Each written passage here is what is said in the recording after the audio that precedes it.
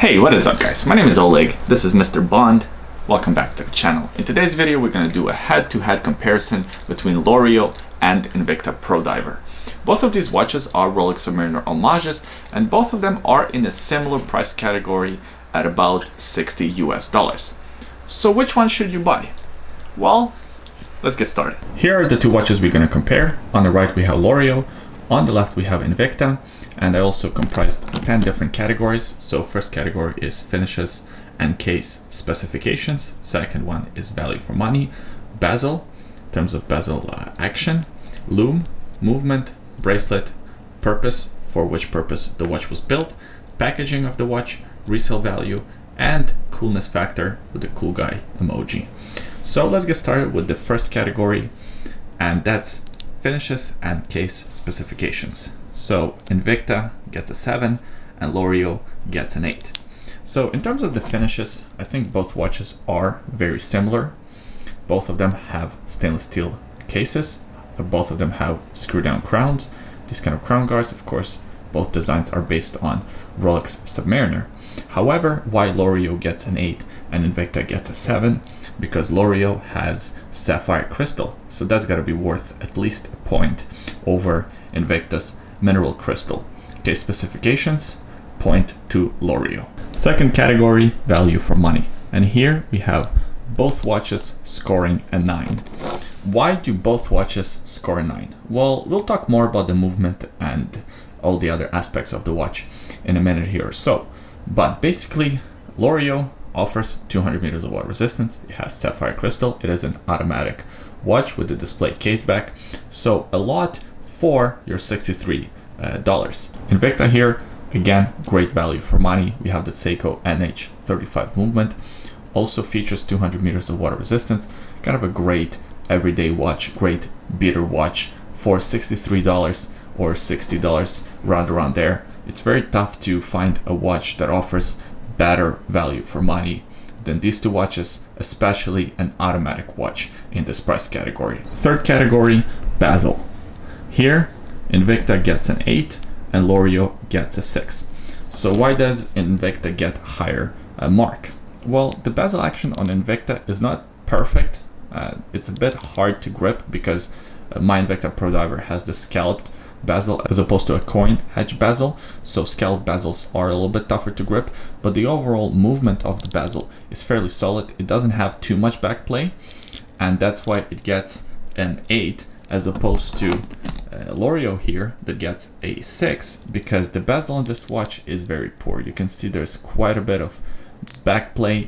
It's, uh, it's very tinny. It doesn't sound very confident. And uh, throughout wearing this watch, I would constantly bump bezel on something and the bezel would turn, which is not a good thing for a diver watch. The next category is lume.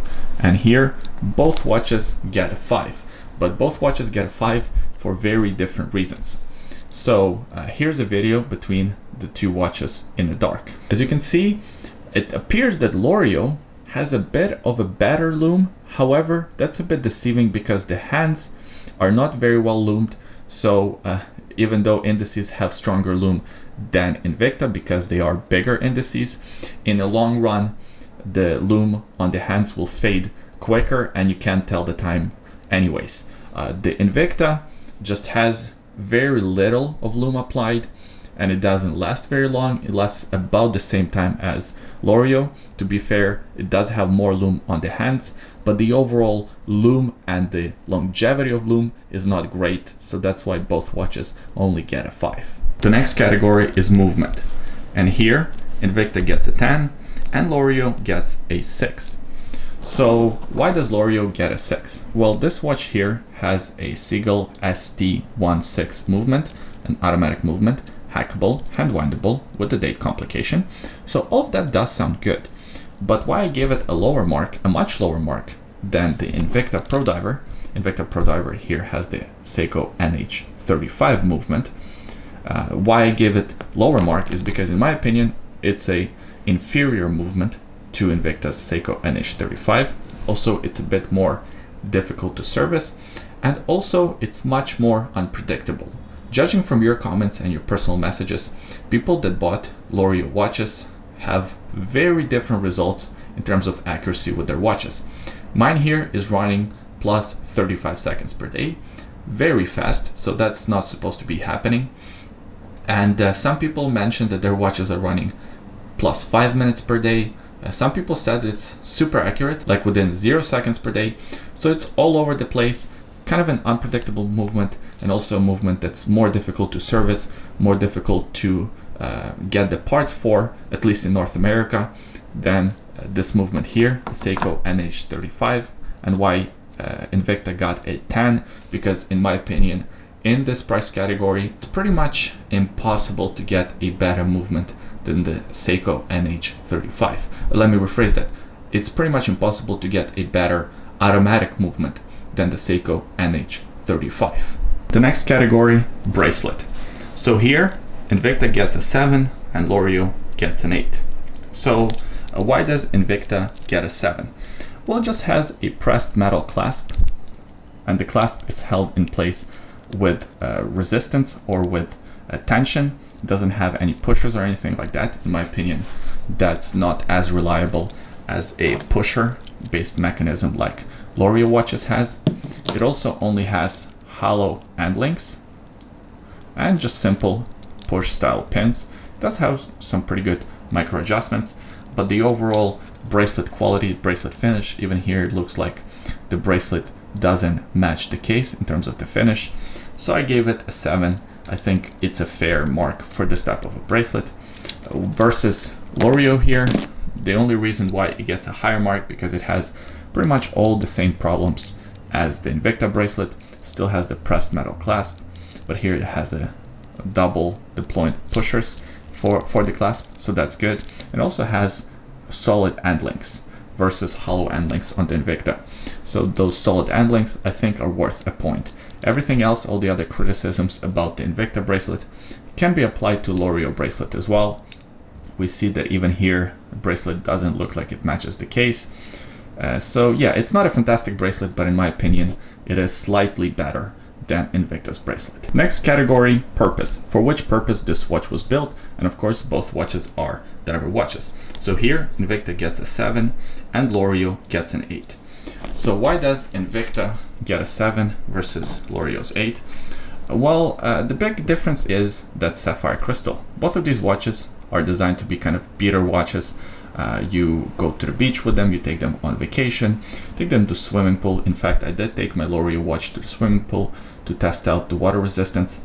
I was diving in the swimming pool, I was swimming, the watch performed well, it didn't let any water in, so it does have some water resistance. I'm not sure if it has the full 200 meters that it claims, but it's uh, pretty good for most activities. And so does Invicta. It also has good water resistance. It's kind of a tough all-around watch, and for $60, both are great for that purpose. However, Loreo has sapphire crystal, and yes, I did test, it does have a sapphire crystal. So that's why it gets one extra point, because it's just slightly tougher. Uh, so you won't scratch the crystal as easily, and that's why it comes ahead in this category. The next category is packaging. And here, Invicta gets an 8, and Loreo gets a 9. So first, Invicta. Invicta comes in this yellow box we kind of seen this box all over the place because pretty much uh, I think 80% of Invicta watches come in box like this or some variation of this box. It has all the tags and it has this kind of cushion. For 60 bucks, not bad, not fantastic, but not bad.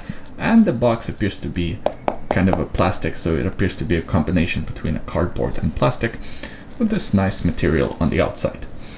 Loreo here, uh, I was surprised to find, Comes also in a box. You open a box like this. Also has a pillow here. You can see my spare links in there. Some styrofoam. Take that out. So it has the warranty card. It has all the tags, the same thing as Invicta, but it also has this tool here, which is used to adjust the size of a bracelet. So this is a pin removal tool. I was very surprised to find this tool because I've never seen a watch come with this tool. I mean, I've seen some that come with a small pen removal tool, but not, but nothing like this. Sometimes they come with like a screwdriver or something, never with this big plastic tool. So that's why it gets one extra point for the creativity. However, I should note that I think I got lucky with this Loreo watch because I did get a box. A lot of people in the comment section below did mention that their Loreo watches did not come with the box. They just came in an envelope wrapped in some plastic. So I will leave a link to the uh, seller that I purchased this watch from on AliExpress. And hopefully when you uh, buy this watch or if you choose to buy this watch, it will also come in a box like mine did. The next category is resale value. And here, oh, let me move this up. There we go. So here, Invicta pulls ahead, it gets 10 points versus Loreo 7 points. The good thing about buying Invicta watches is that they hold their value pretty well, especially if you buy them for the uh, online prices. If you buy this watch for 60 bucks or 70 bucks on uh, Amazon or something like that, and I'll leave a link in the description below where I bought this watch. Uh, they hold their value pretty well. In fact, sometimes you can sell them for a little bit more than what you paid because Invicta has this kind of a shady strategy of hype, hyping up or hiking up their retail prices. So in a retail environment, this watch here would be like 150 bucks, 160 bucks. Sometimes I've seen them for 200 bucks. So when you're selling yours on the used market, uh, on a classified or something like that for 60 bucks, for 70 bucks, you can pretty much guarantee that somebody's going to buy it and you will get your money back. Versus Loreo here, it's an unknown brand and in fact there are quite a few different Chinese brands that are very similar, just have a different logo, but the specs and the look of the watch is about the same. So it's very difficult to sell this watch, especially to sell this watch for the same price as you bought it for or uh, to uh, recoup some of the losses. So I think this watch, Loreo, will lose more value in the long run versus the Invicta. And the last category, coolness factor with the cool guy emoji. And here, Invicta once again pulls ahead with 8 points versus Loreo's 7 points. So why does Invicta get more points? I think it's about the brand awareness and brand recognizability. Invicta is just a much more well-known brand and it comes back to the resale value and how good you will feel about wearing this watch. A lot of people will know that it's an Invicta. Uh, some people will love it, some people will hate it, but nevertheless, if you bought an Invicta, clearly you like the watch, so it gives you uh, some coolness factor. Versus Loreo here, it's a pretty cool watch to wear, because you had to clearly do some research. You didn't buy this watch at the store, so you know a thing or two about watches. But because this is such a copy of Rolex Submariner, it's an homage, but it is kind of a copy. You, I think you will lose some coolness factor with that. I mean, you will lose coolness factor with both of these watches for that, because they are both Rolex Submariner homages. But I think with Invicta, just more people know about Invicta. So that's why it gets one extra coolness point versus Loreo. And the overall winner once we add up all the scores, is Invicta with 79 points versus uh, Loreo with 73 points. I think these watches come very close to each other.